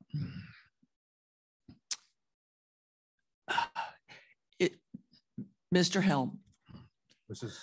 Haynes. would you consider amending your um, motion, I guess it is, to instead of dissolving, to reconstituting the Building and Facilities Committee in such a way as to address very specific topics that are in front of the town. Thank you, Jan. That's, uh, that's the essence of what I've done here. And perhaps um, somebody would like to suggest the, the wording instead. My original motion. Excuse me, Bill, I'm so sorry, but, oh, I can't, I'm sorry. What? sorry. What? We need to call a motion. You said we didn't say No, let, let me just answer uh, Janet, though. Uh, What I proposed additionally, and maybe you don't like the word dissolved, was that we dissolve the Building and Facilities Committee as a permanent committee and reconstitute the Whipple Hall Subcommittee to continue to advise on Whipple Hall. So that is the issue that is now left. And if, if uh, it makes it sound better to say reconstitute the Building and Facilities Committee as the Whipple Hall Committee, reporting directly to the selectmen, that's fine. That would, that's, that's the essence of what my proposal was. And uh, I'm perfectly happy if it, if the language is, doesn't suit people to have the Building and Facilities Committee be redirected to be the Whipple Hall uh, Committee, uh, uh, Whipple Hall Renovation Committee. But that is the only assignment that the Building and Facilities Committee would then have under my proposal. Call it what you want. It's, it's still going to be the same thing. And rejects the remaining activities that they're involved with. No, it, uh, it, you've suggested the, a date of, um, um, July first to, uh, uh, continue to sort out anything else that's, that's there. Um, as far as I'm concerned, the July twenty-first, two thousand twenty-one report, uh, listed all the other items that needed to be dealt with, and for whatever reason, they haven't, the town has chosen not to proceed with them or has proceeded with them and their uh, completed um, issues. As you know, I'm about to deal with uh, the issue of the police site subcommittee, but um, we haven't gotten to that yet tonight. But at the end of the day, my belief is that of the activities that have been ongoing with the Building and Facilities Committee, that the remaining activity for which I would be supportive is the Whipple Hall renovation work. And so we can word it any way you want. I don't know who you're pointing to. Oh, What I'm hearing from the people who are sitting in front of me, I think it makes great sense that I, I guess there's a motion on the floor. I came in late to dissolve the BFC. To me, it sounds like you're throwing the baby out with the bathwater. To reconstitute the BFC, seat the people you want on there, uh, maybe the way to move forward. Um, That's all I've got to say. I, I think disbanding the BFC uh, throws a lot of good work out the window. So I don't know, you probably have been listening to the tape, you're listening to the report broadcast, you probably don't have it written down exactly, Katrina. So let, let me try again. Dissolve the current Building and Facilities Committee as a permanent committee. It having accomplished the task of identifying facilities-related issues in its July two thousand twenty-one report to the selectmen and reconstitute the Whipple Hall Hall Subcommittee as an ad hoc group to continue to advise the selectmen on and monitor Whipple Hall matters through two thousand and twenty-three.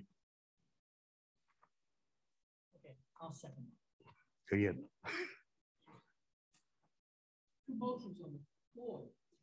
There are two motions on the floor. You had the original motion. that's the original motion. That was the original motion.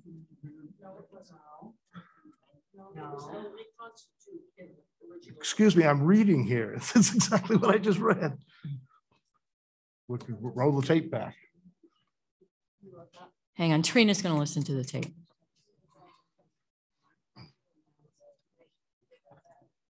He did have it in there? Okay. Okay. Okay, thanks, Trina. Okay, so um, we have the motion. It's been seconded. Um, we have had discussion. Um, so I will call for a roll vote. Janet? Yes. Bill? Yes. Nancy, unequivocally, no. I think this is the wrong thing for the town of New London. Unfortunately, the vote carries. I would like to say something before we move on. I want to publicly thank the members of the Building and Facilities Committee. Colin Beasley, Bob Bowers, Joe Cardillo, Rip Cross, Phil Sherman, Peter Hoagland, and Nancy Marascio for all of the time and effort and work that you have provided to the town of New London. Um, I thank you. Um, I would also ask that there be a transition period. Hopefully, those members will agree to a transition period of activities that are um, open and ongoing. Um, I would also ask that be effective July 1st, this vote. Um, and I will charge Mr. Helms with the creation of these ad hoc committees um, and coming up with a strategy as to how that is going to be implemented and worked. Um, Thank you. I'll be happy to take that, that on. I'm go- sure May I go to my last motion? you may. Okay. I move that, the- that the Board of Selectmen ask the Police Site Subcommittee to present its March 22, 2022 report to the Board of Selectmen at its June 9th meeting, at which time the selectmen may begin to determine the next steps related to the future location of the police department. Which, by the way, was the plan of the Building and Facilities Committee to come forward with it at that point in time anyways. So. Second.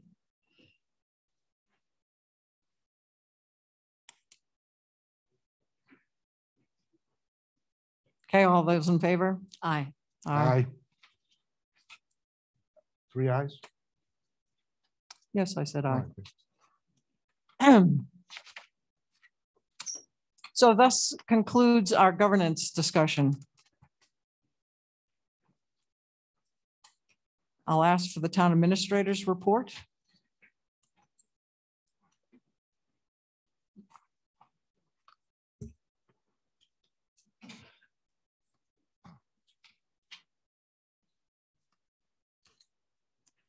Okay, um, the, I have sent the attorney, uh, town counsel, the lease and the bond for the fire truck uh, that we're going to enter into.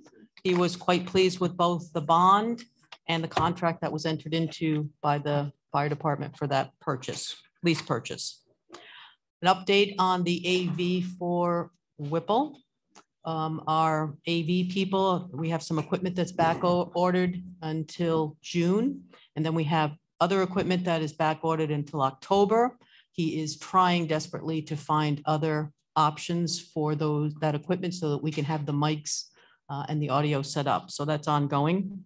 As a reminder, next week, we have the fireworks ordinance public, not next week, the twenty-sixth, next meeting. Is that next week?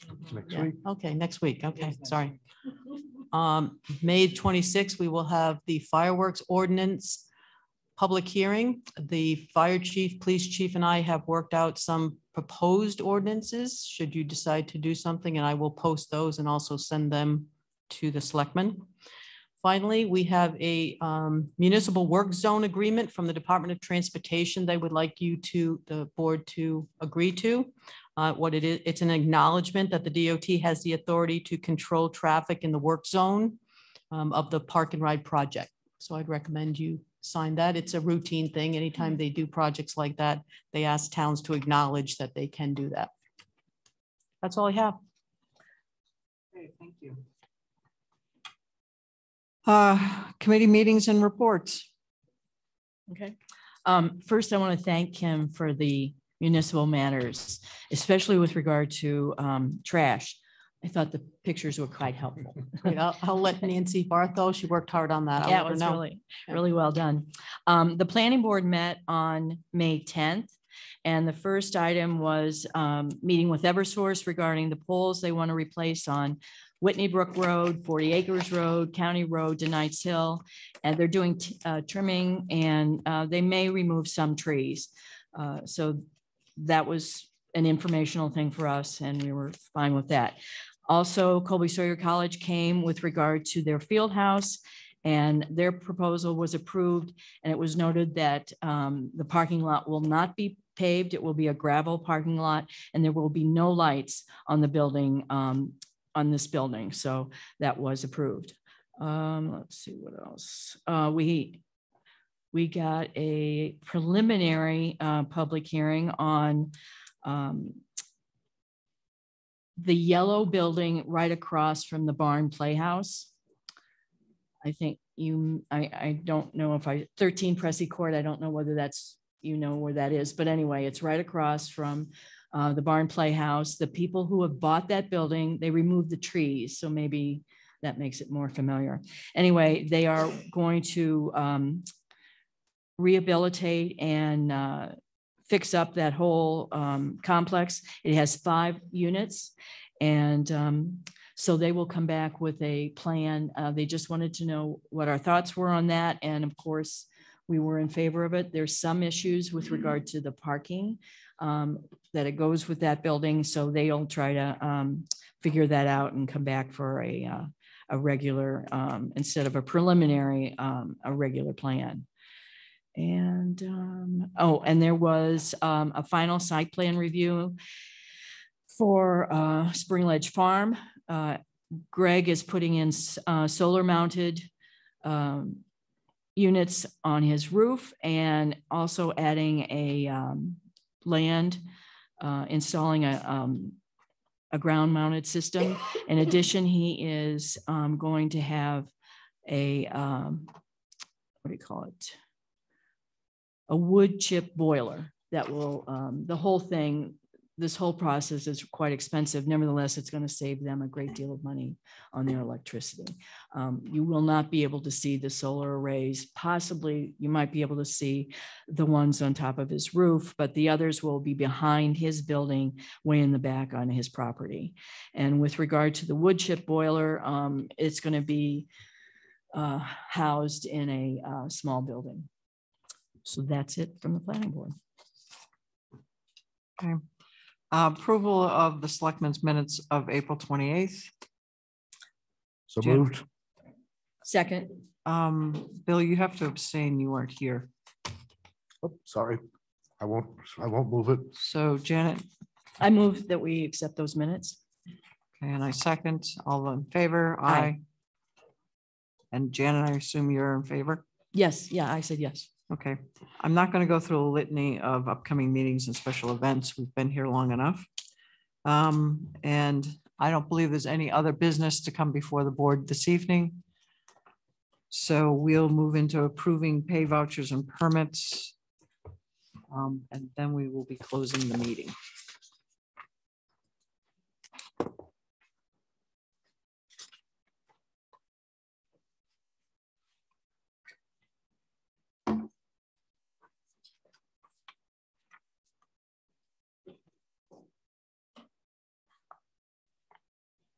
I heard something at a, um, an HMA workshop that says Robert's Rules of Order say you don't have to abstain even if you're not at a meeting. That was a little tidbit I learned, so, yeah. I, I was gonna look it up, but I'm not a fan of Robert's rules, but I was quite surprised at that little tidbit, so.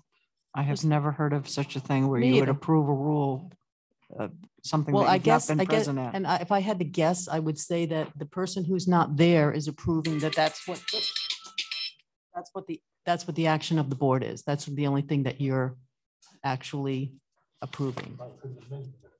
Right. Anyway, a little tidbit. Hmm.